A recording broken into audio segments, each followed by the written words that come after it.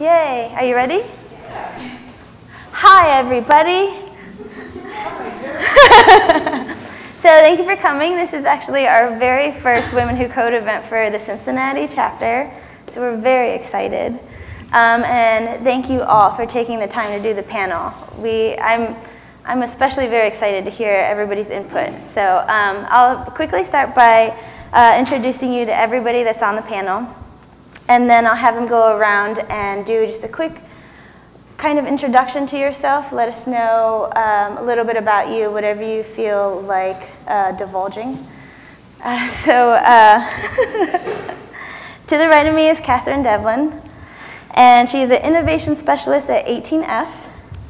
And then we have Liz Naramore, or Elizabeth Naramore, okay, who is the Patchwork Community Manager at GitHub. And then Cindy Brown, who's a software engineer at Navinet Inc., and she's also a director on the on for WWC Cincy, Cincy WWC. and Carin Meier, who is a developer at Cognitect. Nice. and then last but not least, Catherine Tornwall, who is a developer here at Gaslight, who was gracious enough to also sponsor and host this event. So Catherine's been doing a lot of work for that, so we're very grateful. and um, I'm Tara Manisic. I'm a software engineer at Modulus, and uh, I will pass it over to you okay. to introduce yourself. All right. So um, yeah, um, I came from Minnesota. I was I studied chemical engineering, tried to get a job. It turned into a C programming job. I left to study more chemical engineering, tried to get a job, and I couldn't. And so I went to the secretarial pool, and that turned into a database administration job. Um, and so I guess I stopped fighting it and realized that I actually like this stuff anyway. Um, aside from the C, the C company was actually really dysfunctional, but um, it, so yeah, that was in, in 99 that I turned into a database administrator and then gradually added Python programming um, a few years later to that. And I wouldn't have actually called myself a web developer until about a year and a half ago, and I still wouldn't call myself a good one. But um, you know, you, basically, I've never been. My my computer science education was a one month J-term course, and um, so I have done a whole lot of faking it, but that's okay. Um, and yeah, I work for 18F, which I will babble about a lot at some point, probably because I absolutely love it. And I will pass the microphone on. Hi, I'm Elizabeth. Um, I actually went to school for organizational behavior. That's what my degree is in. And um, but we had computers all in our family. I was programming BASIC at like 10 years old because my brother did it and I thought it was cool. But then I, you know, you take it to school and then turns out that wasn't so cool. Like nobody else did it. so I decided I don't want to do this nerdy computer thing. I would rather just learn about um, behavior and psychology because I think that side is really fascinating also. So uh, then I uh, ended up here and there, jobs here and there. Um, I started teaching myself HTML in 97 because we, uh, the company I was working for needed a website and the, it was too expensive to pay someone who knew what they were doing. So I was like, well, I'll just learn it. So I, so I got to go and I learned it. And then, um, then I got in really about the PHP side of things because um, our website got pretty fussy, but it, did it die? Yeah. Oh, it's yelling anyway.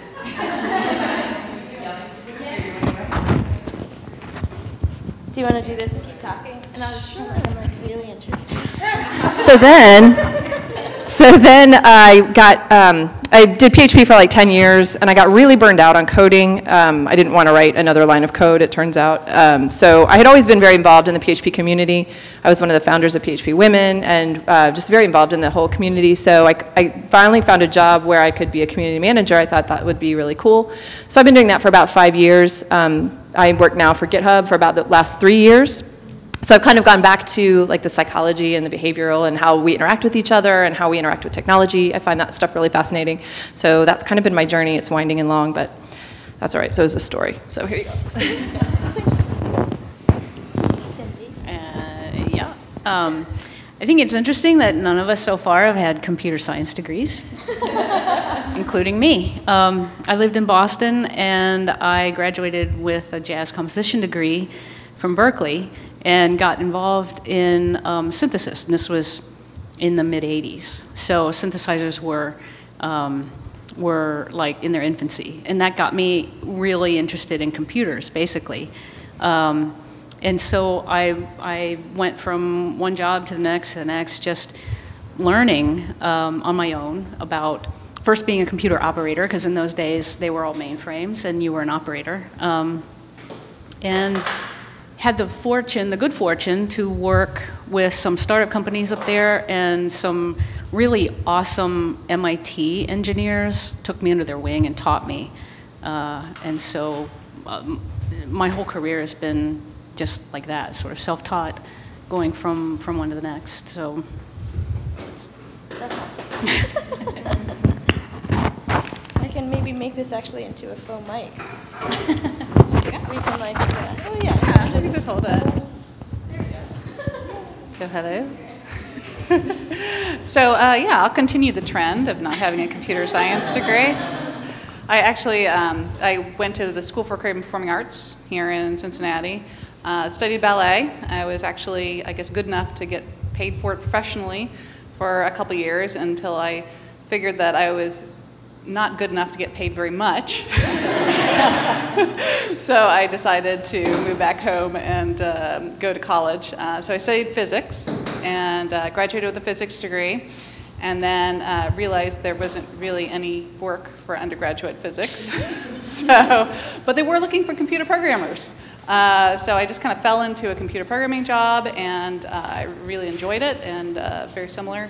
Uh, been self-taught and uh, loving it, and kind of going from job to job and learning more. And here I am. I, James fixed the mic for us. He's our baddie, Thank you, battery savior. James. Thank you. Um, so I do have a computer science degree. I decided to go into computer science because I think it was that my brother was like really into programming games and stuff, and I was like, that looks cool. I want to do that too, even though he's younger than me. but so I got into it and took a couple classes, I think, in high school at Ohio University, and just really fell in love with it because I was good at math. But I mean, what I, was, I didn't know what I was going to do with that at all. So it turned into something I really love to do, and I just have so much fun playing with like the back end, and I love doing the design on the front end. And I feel like you could be really creative with computers and programming, and it's just wow, yeah, I get excited. As I think we all do.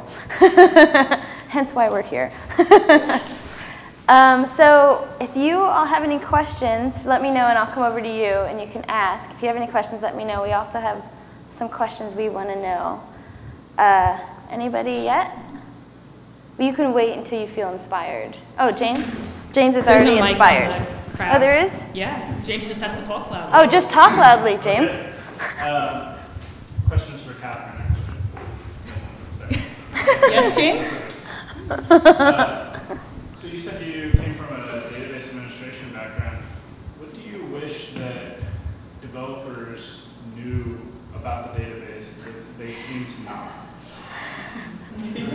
Oh, No, I, I'm a nice DBA. Uh, most database administrators are lawful evil. I'm kind of more chaotic good, so I'm not a very good database administrator in that sense. Um, gosh, I almost want to put. I honestly, I've been a little bit shocked at. Um, m- most of the developers I've worked with know the database better than I expect them to. So I don't think I have a lot of complaints on that front. Now, there are always a lot of really powerful capabilities that the databases do have, especially if you're using something like Postgres, you should use Postgres. Um, and, and a lot of the times developers just kind of like want to handle everything that they can at their level and just use the database as a, as a dumb, dumb big round. And there are some really, really interesting possibilities that, pro- that are programmed into an advanced database. And so, if you if you can, you should have a conversation with your database people because um, they might be able to do some amazing things that you're killing yourself to do on the code side, and has already been implemented better anyway. Um, so have that conversation. Um, uh, yeah, that's about all I got to say. Don't be too scared. I know DBAs like sysadmins tend, you know, tend to say no, but um, don't be too scared. Or talk to me because I'm listening. I have a follow-up question. Do you have resources you would suggest to developers to, to go into, learn more about databases? You know, and that is actually a complaint about the database world is it doesn't have quite this level of community. Uh, we don't have a viable Postgres group in Ohio, for example. Um, you know, so, so what's more awesome than the documentation? And the documentation is not all that, and that's the thing, the documentation is okay, but you always want to find that site that's even better than the docs because it explains it so well. And I'm stumped for how you do that for database administration. So can I, I will grab the mic again if I think of a good, yeah, or, or I should do a, like a database office hour or something. Yeah, I was about to say, I think, I think all the database people should team up tonight and just start the revolution tonight, personally. Questions. Uh, so I actually have a question for the whole group because Catherine actually brought this up. Uh, when you were saying the imposter syndrome, like we always talk about that we feel this, or you hear like fake it till you make it. And so I just want to know from all of you if you felt the imposter syndrome and how you've dealt with it. We can loop back to you if you if you're over. Everyone is faking it. Trust me. And, and one great thing about getting involved in organizations is because it's a great opportunity to get together with others and confirm that we're all faking it. so do that. I would, I would second that, absolutely. I, of course, I think everybody's felt it, but um, being self-taught, I think for me personally was really hard to get over because I would look at my colleagues and they all had degrees and I was just a hack. You know, I'd go to conferences and I would just be like, I don't even know what I'm doing. I'm out of my league. What in the hell? What is happening? I don't even know. And um, so that was really hard mentally to get over. But yeah, once you realize that everyone, no one knows what they're doing at all, and everyone is just completely faking. They might know one little piece of the puzzle, but they don't. They don't know as much as they would le- lead you to believe. So then it was like, oh, all right, well maybe it's all right. That's fine. Yeah, I mean that's that's the best advice. Just just believe that you uh, you know what you know, and you have your creativity. Um, believe in yourself, and um, like she said, everybody's faking it. You know, um, it's uh, and just relax and and just do what you know to do. And if you have a question, just ask a question. It's it's not a big deal, you know. And if you don't know something, a lot of people don't know things, and you know you know other things, and and it's all okay. it really is. Uh, no, that's great advice. To, um, just a, a little specific things that have helped me. Um, for example, I wanted to get a blog going, but like there's this big pressure, you know, to write your first blog post. You're like, what am I to say? The whole world's going to say it or see it. You know, it's got to be great. And and I, I I don't know. I finally got this that if you just put lots out there, then the pressure for each individual one goes down. they don't they don't all have to be good or great. You know, can just be like have some that are okay, and then one that's really good. And so if you just kind of get over that initial hump and just keep doing it, then the pressure gets less. Uh, and also, um, let me see, what was the other? Oh, uh, the same thing with, with speaking. Uh, so I was really nervous when I first started to speak. Uh, so it, th- it was actually good because I was terrified, but it got me out of my comfort zone. And then after I did it the first time, I was like, wow, you know, I really could do this. So, but it was that initial courage um, to do it. And also, just one more thing, that I think that it's our, that, at least I think, um, we're more as, as women apt to ask questions. And I think that's actually a superpower that, that I have. Because I know a lot of people around me are hesitant, and I, I'm not. And I can learn a lot by asking questions. So that is a superpower. Yeah, when I started my first job right out of college, I had already been working there for six months uh, during the summers as an intern. But as soon as I was like an adult, I freaked out completely. I didn't know what was going on. I felt like I was thrown into this new world. And I was working at the same place, doing the same things. Like they, I could do it, but I didn't believe in myself when I started. And starting asking questions, even if it was just to validate that you're on the right path, is really important to kind of help make you feel better. And recently, now that I've started going to like more meetups and stuff in the last year, like the people there are really awesome. And if you've got problems, like make sure you reach out and help or ask for help because everyone's super friendly here. I love Cincinnati for that reason. So, yeah, you if if you need support, it's pretty easy to reach out and find someone to help you, whether it's like on Cincy Tech Slack or something like that.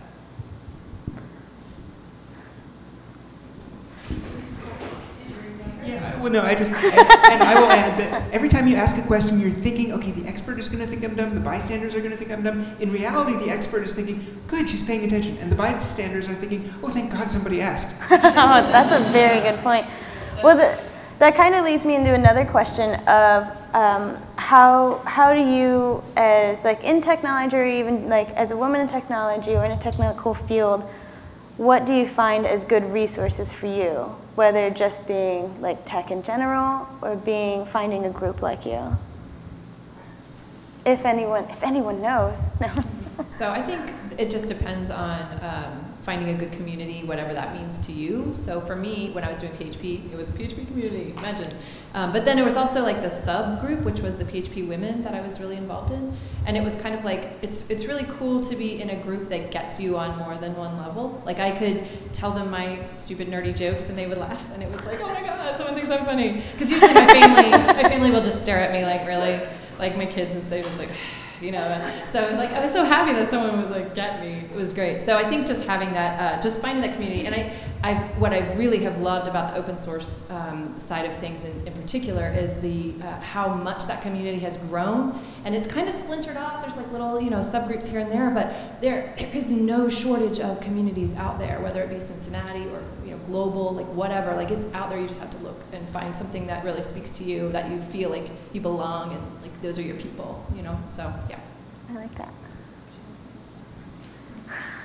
Um, as I was driving out here, I was thinking about you know some things and about my life and um, coming up through the 80s. Um, I have experienced a lot of uh, you know things were different then, and I experienced a lot of um, harassment and discrimination. I've always worked with uh, men. I've never worked with women. Um, and, and I was thinking, you know, that some of the worst discriminatory situations actually led to some of the most valuable opportunities for me in the long run. And so I think what got me through all that was I, um, I thought, I, I really, really enjoyed what I was doing. Um, it, in, it energized me and it turned my mind on and it gave me outlet for creativity. And those are the things that got me through all of that. Um, and like I said, led me to some really amazing opportunities in the long run. So, so it's you know it's like the Mountain Valley thing, um, and so uh, things have gotten a lot better, uh, but things haven't gone away. But just just holding on to what you're doing and why you're doing it, and the fact what it feeds you. And if it doesn't feed you, move on to something that does, so that you can, because there's that kind of stuff everywhere. Um, so that would just be. Yeah, no, I totally agree with every everything everyone has said. But in addition, I'd say just meeting like people in the community, especially women that you connect with, that um, is a wonderful thing too. I mean, I, I remember the first time I met like Elizabeth and Maggie, I'm just like, where were you when, I was like growing up? Because I totally wanted to hang with you. Um, but you know, so it, it's nice um, connecting with other people that have similar loves. Oh, that's fine. Any other questions? Well, one thing that Cindy touched on that um, actually uh, we have a question about was assuming that it's been difficult for women in the tech field how do you think uh, things have changed for people in, in like women in the tech community now? I think it's gotten much better. Just so there's a lot more awareness about it and a lot more, I mean, groups like this um, getting together. I mean, I think when I first got started in it, um, you know, I, I, persisted in it because I loved it, but it was a bit of the, um, the back of the bus uh, experience for me. Uh, to put this in context, you know, when I got on the school bus, and then there were the, the kids in the back of the bus, right? And you want to be in the back of the bus. Has that never So- changed? so Is that one, consistent so one day forever? you go and you sit in the back of the bus, and you know they tease you and everything, and you've got to decide: are you going to stay in the back of the bus and deal with this, or are you going to move somewhere else? And I stayed, and finally they figured they couldn't get rid of me, so they better, they better just deal with me. So. That's a great analogy, by the way. I think people actually like you, Carin. It's not that they tolerate you. I think you actually are pretty awesome, and I think they, they realize that you're just awesome, so they want you to stay. But now I don't even remember what the original question was. Uh, it was oh, being, oh, yeah, yeah, yeah, yeah, yeah. I was just gonna say to add to, to Carin's point about it being better. I think it definitely is better. Um, I just think there's a lot more resources available. So if you have a problem, you have um, people to talk to about that. There are you know things like code of conducts being um, implemented in conferences and open source projects and things like that. I think there's just a, a real awareness of the fact that um, yeah, you can't just go up to a woman at a conference and try to like hit on her. Like that's not appropriate, right? And so, um, but for a long time that was kind of like the thing because you were this you know unicorn. And so there was like oh my god marry me. You're a girl and you like programming you know like ridiculousness. But you know that was that was what was said at conferences. And i think that that though the, maybe it's still going on but it feels like the instances or at least the instances we hear about are less and less. So um, yeah, I mean, I think it's better. And I look to my daughter who's 15 and she wants nothing to do with programming at all. But, you know, if she changes her mind, which would be awesome, I feel like the, the, community and the atmosphere is going to be much better for her than it was, you know, for, for us. So, yay. Not that we're there by any means, but, you know, we're getting there. I have another question. Do you think the rise of remote communities has actually helped women do better in the tech world? Because they were able to basically, it's like meritocracy, they were able to show that they could do it and like basically let their work speak for them. You mean as opposed to um, this everything happening in Silicon Valley? Well, I mean, like, so I think before, if when, when you have like the, you're, you go into a company as a woman, everybody's mo- mostly man, you already have to deal with the fact that they might have opinions about you. But when you're remote, they don't have that interaction with you. You're just sending them the stuff. And so all it is is like, okay, can I show you, can I, can I provide the results for you? And if you can, then you're good. Yeah, so GitHub is, is based in San Francisco, of course, but we're mostly remote. We're 60 40 remote versus in San Francisco.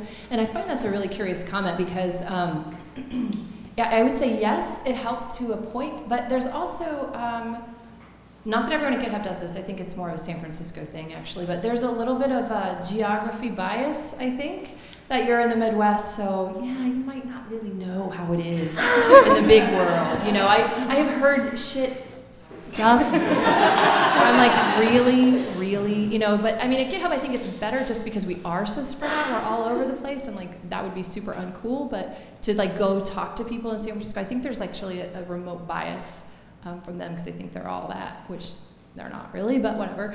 Um, so uh, I think, I, I don't know the answer to your question if it helps or not. It, it kind of sets up another barrier, but I, I feel like others want to talk. Sure. I, just, um, I, I actually think this reminded me that we've noticed at 18F and discussed it a little bit that there's um, a danger in remoting in that um, you have to push harder sometimes to insert yourself into a conversation to be socially present and if and if for gender reasons or whatever that doesn't go so much with your personality it's easier to disappear into the woodwork. And so you maybe have to work harder to be visible. And which is kind of ironic because um, in person you certainly can have trouble um, in in-person environments there's an authority issue where you you know you don't look very authoritative. You look awfully female to me. But um, but on the other hand, when you're in a room of 50 middle class, middle aged white guys named Dave, at least people notice that you're there. Um, and online, that might not even happen.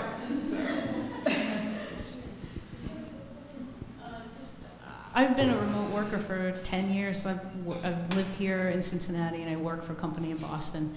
And um, it's definitely very challenging, like what you said. You, you, you have to learn to, be, because they're all in a conference room and you are this voice coming out of, a, out of this device in the middle of the room. And more often than not, they forget you're even there. And so, uh, and there's also when you when you do remote conferencing, there's a delay factor. So you're always talking over somebody because because of the delay, and so so you get perceived as she's always interrupting everybody. but then um, that's not necessarily a bad thing. It's just, you know, choose your words well so that when you do speak, it rocks the room. And, you know, and then, then, then that's, you know, interrupting people is forgivable.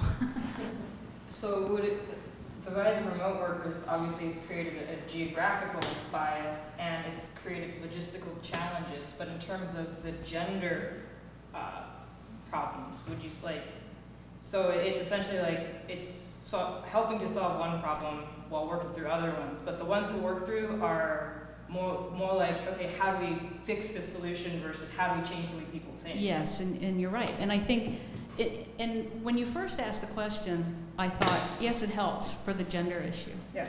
Um, if you can get over timidity, if you are that, you know, disposed that way, and I was. Um, and if you, and if you have coworkers that are supportive. Um, I, I not only work with a group in Boston, but I work with a group in Belfast. So, you know, we're, we're very um, dispersed. And, and uh, it, when you first asked the question, I thought, yeah, because I become this disembodied voice, it, it often will come with more authority.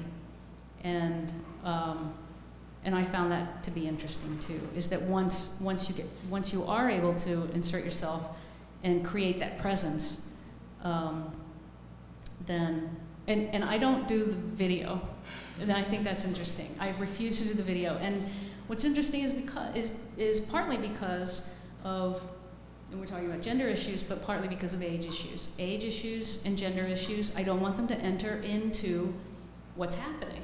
And so I won't do the video. And I'll just, I'll just, I just, I'm just this disembodied voice that carries authority. it works. Yeah. Oh, no, I'm just picking up tips. So, um, oh, go ahead. Oh, well, so I have, um, I have a s- two specific, I have a specific question after this, but I kind of want to ask a quick, kind of broad question of each of you. And that's in your career, what has been the worst and best decision that you've made thus far? The worst decision. That's hard. Mhm. I don't know. I feel like I've made a really good decision coming down here, and because it's helped me learn a lot, and I've gotten more active in the community since I started thinking about coming to Gaslight, and that's probably actually really the best thing that's happened to me because I've gotten to meet so many other people. Um, and just make so many interesting relationships and you learn so much more the more people you interact with and i found that to be just awesome um, i don't know what the worst decision was though Or i'm gonna have to skip on that It could be those burgers that you guys went out to lunch for that one time. That was a bad decision. But i think i'd list that under life. Yeah burger week was the worst decision of my life. Uh, so, so I was quickly thinking the worst. Know, it's hard to think of the worst, but I, I think um, a bad decisions that I made in my career were was staying somewhere that I wasn't happy too long, and just you know like hoping it would change, and I just was unhappy, and you know I just should have packed up, and looked for greener fields sooner. Uh, the best decision I think was uh, finding the community. I mean that has really just uh, made my life just wonderful. So I think that was the best decision. Um, probably the, again, I have trouble with the worst decision too. Um, the best decision is probably that uh, the thing I love most about um, the jobs was the learning curve. And so then when, when the learning curve leveled off, I would change jobs. And I think that that's probably the best decision I made was to change jobs when I, when I wasn't challenged anymore. Um, because I worked with more people, I learned more technologies. Um, I challenged myself every time you go on an interview. You know, you're challenging yourself to put yourself out there. And maybe the worst was I think the worst was um, not because I was a musician. I always thought I would be a musician and go back to a musician. I was doing computers on the side, and I think the worst decision was not to embrace it fully. I think that hurt me. Um, So So I think the worst decision was not being aware of the signs of burnout until it was too late. And then I didn't want to even look at code anymore. I think if I would have been more proactive and done a little better job at self care and not trying to be all things to all people, because I had two small children at home and I was working full time and taking care of them full time. So it was nuts. And I think in technology, it's, it's especially dangerous because it's such a fast paced, moving place that we're in. So you always feel like you're playing catch up. You always there's always something new that you should be learning or that everybody else seems to know and I don't know what this thing is. I better go learn it really quick, right? Like that made me a crazy person. I could I could not keep up with everyone. And and I think so that was the second worst thing was trying to do that because you just cannot do it. You just can't know everything about everything. You just can't. So um, I think those were the two things. And I think the best uh, the best decision I ever made which is a, kind of funny because I just said it was my worst, but it was also my best, is that realizing that um, code wasn't making me happy. It didn't care if it got written or not. But the community was where I found my passion and where I really liked connecting with people and seeing their passion and their, their excitement made, made me feel good and made like the fact that I could be in a job that would facilitate that and facilitate those interactions, like that that was fulfilling to me. And so writing code was fine and I enjoyed it and I liked problem solving, but there was like a piece missing that wasn't super fulfilling. I didn't feel like I was changing lives or making anything really better, just making the company money, you know. So I was like, okay, but I still have the same paycheck or whatever. Um, so, so the best decision was switching to community, even though it meant like, you know, sacrificing like money and everything else. I don't have a fancy title or whatever, but um, but it was it was good. It turned out to be the best decision for me. So. Thank you so much for giving me time to think. Um, uh, my worst decision, I think, was not from the code world. It was from that uh, chemical engineering graduate school, and I chose an advisor based on my excitement technically about the project, and I didn't pay attention to the personal dynamics. And that hasn't been the last time I made that decision. I tend to, you know, if I'm hypnotized by the technology, maybe I'm not going to pay enough attention to how the personal dynamics work, and they really, really, really matter. Um, and maybe I've learned that now.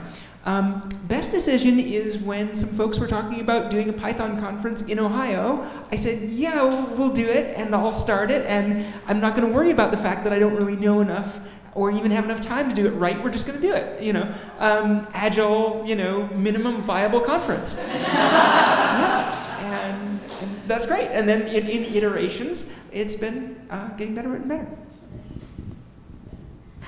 Um, so I actually have a little bit of a specific question about um, being a parent and and uh, having like a kick-ass tech career. So like, have you known somebody, or if you're a parent, or just just how how viable that is, how successful that is, or have you seen it be successful or felt it be successful?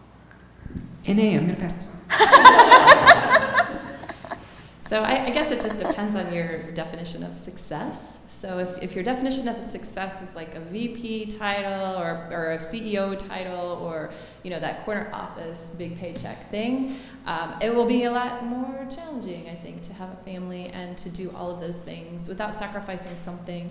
So I feel very fortunate that I didn't have to do that. Um, I feel like my job has, I'm pretty successful at what I do. Um, you know, I don't have those fancy stuff, but whatever.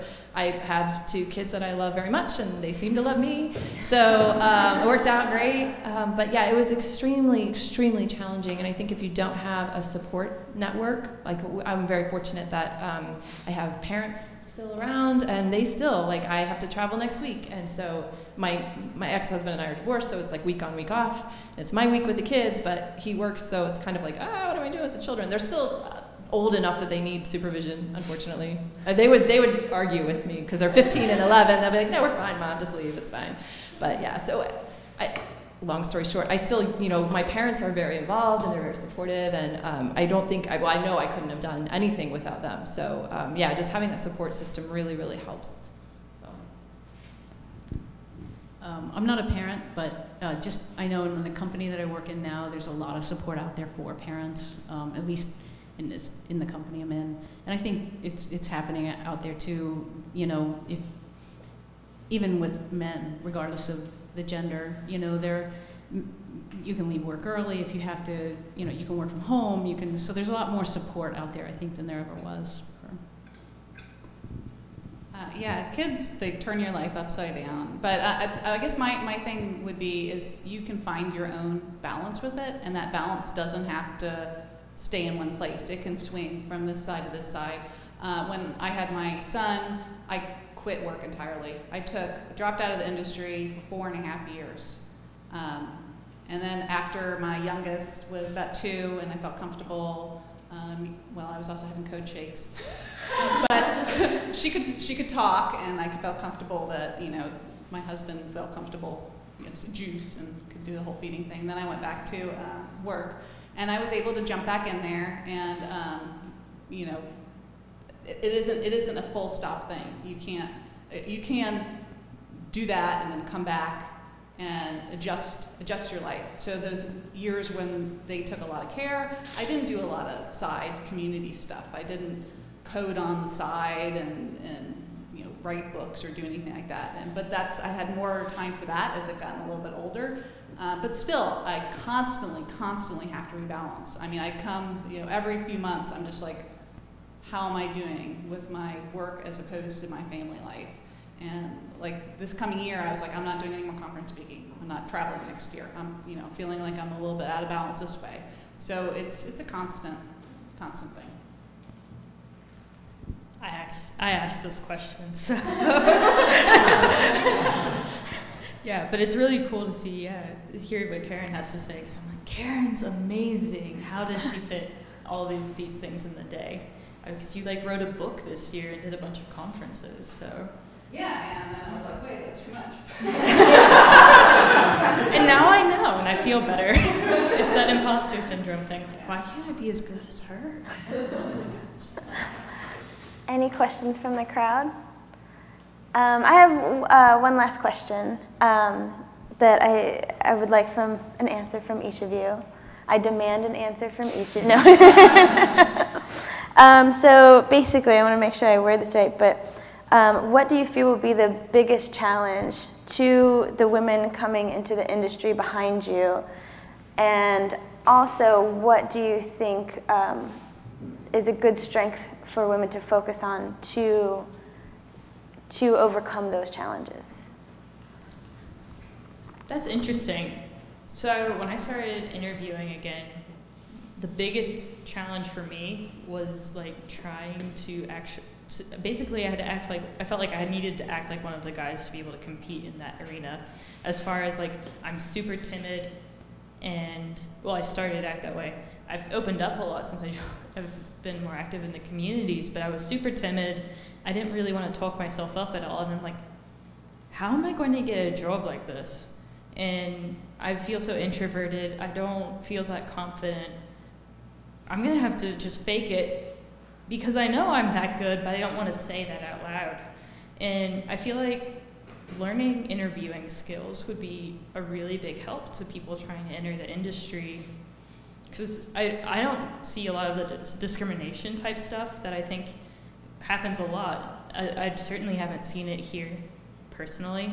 I've heard stories from other people my age that do have that problem, like in Austin and, and around the country. But yeah, I think the interview is probably the hardest part to kind of break in right now because it's a pretty competitive market to get some of the job, like the really desirable jobs. Uh, yeah, I think uh, confidence is definitely uh, definitely a key point. and also uh, knowing your balance and being aware of what you like and you don't like. Um, I think that that comes with time. And the, the one thing that I've, I've appreciated as I'm getting older is I'm getting more of that, you know, I, I don't give a damn sort of attitude with, of, what other people think, which is, is kind of awesome. So um, I think that's great. yeah, I think that the uh, upcoming challenges are going to be less gender issues, like you said. They're going to be confidence the, the things that always helped me when I went out for interviews was because I wanted to be a musician and I didn't necessarily care about this. I, I felt very confident in, in my abilities and I thought, if you don't give me this job, I'll get another job. And that confidence, um, I think, came across to them as, wow, she's really confident. And and I was relaxed. So if you're in an interview, be relaxed, be confident, and and uh, that gets you that gets you really far. Um, and I, am not really sure what the challenges are going to be for you guys coming up now. I think I think less gender issues and more interpersonal issues probably, um, and, and that's going to you're going to find that everywhere. Just being able to get along with someone or or work out differences uh, in the workplace. Um, so I would say uh, one thing that uh, was also a lesson that I learned was um, choosing who you surround yourself with. So, like, there are pieces of the community that are extremely negative because we're all problem solvers. So, we're always looking for problems to solve. So, something always has to be wrong with things, right? Like, so there are people, especially like on Twitter, of course, that's what Twitter's for, right? Like, to just complain about everything. But um, it can be really um, demotivating and really affect you personally if you surround yourself with, um, it could, I guess this could be applicable to women or men, I don't know. But, um, just be careful of who you surround yourself with. Uh, make sure that it's a supportive group that wants you to succeed and that will help you succeed and not sabotage your efforts, maybe unknowingly. Um, I think that was a lesson that I learned. I had some uh, female friends that weren't as supportive as I thought maybe they seemed like they were. so it was really an interesting kind of thing. And so um, just be, be wary of that and, and choose carefully. So. Um, I am frustrated that even though the demand in our field is really, really, really good, the demand for brand new, fresh people is still really short. Everybody says, oh, you know, we want a lot of experience, and that's going to be a challenge for everybody who enters. But one way to get around that is like, oh yeah, I was coding when I was a teenager. I did this game for fun. You know, I've been doing some open source, dabbling through college, yada yada. And I don't see nearly as many women doing that um, because I think that you know, we, are doing so much great stuff at the adult level, and that's fantastic.